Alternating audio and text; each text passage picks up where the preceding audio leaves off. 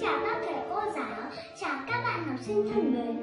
Em tên là Nguyễn Thanh Huyền, học sinh lớp 1B, trường tiểu học Đức Mông Hôm nay em rất vinh dự được tham gia vào cuộc thi giới thiệu sách chủ đề cuốn sách em yêu. Lời đầu tiên cho em xin gửi lời chúc sức khỏe đến các thầy cô giáo và các ban giám khảo. Chúc cho hội thi thành công tốt đẹp. Sau mỗi giờ ở trên lớp học, em được học và cùng cô giáo và vui chơi cùng các bạn. Về nhà, em thích nhất là đọc sách truyện. Em đã đọc rất nhiều câu chuyện hay, nhưng em thích nhất là đọc câu chuyện Con ngựa ích kỷ của cuốn sách Những câu chuyện về đạo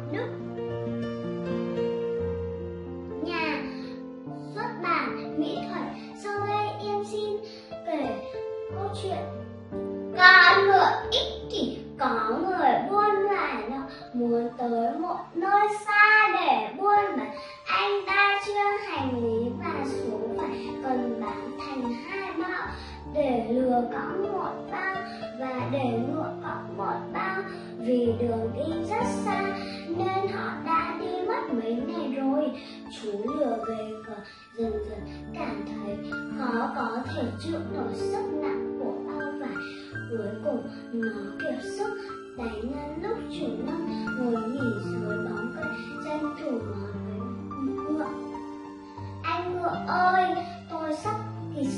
rồi có thể nhờ anh gánh đỡ một chút không?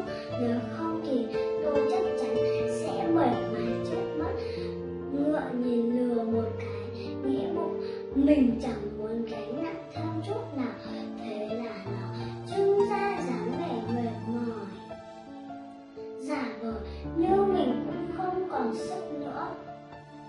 nói với lừa, người anh em lừa của tôi ơi, tôi thật sự rất muốn giúp cậu, nhưng bản thân tôi cũng sắp không đi nổi nữa rồi. Lừa thấy bụng dạng mệt mỏi, ngã rời của lửa cũng không cầu xin lửa giúp nữa. Kết quả còn chưa đến nơi còn tới thì lừa đã sức cùng lực kiệt mà nằm lại. Chủ nhân thấy lừa đã chết, đành gỡ trên lưng xuống. Sau đó, tất cả cái bao cùng tống ra rồi, lên lưng ngựa. Chuẩn bị đem bà. lúc này, ngựa mới hối hận mà rằng, ôi nếu lúc ấy, mình vác giúp lừa một chút thì bây giờ đã không phải. Vân toàn bộ mọi thứ lại còn thêm một tấm da lừa nữa câu chuyện đến đây là kết thúc rồi. Câu chuyện rút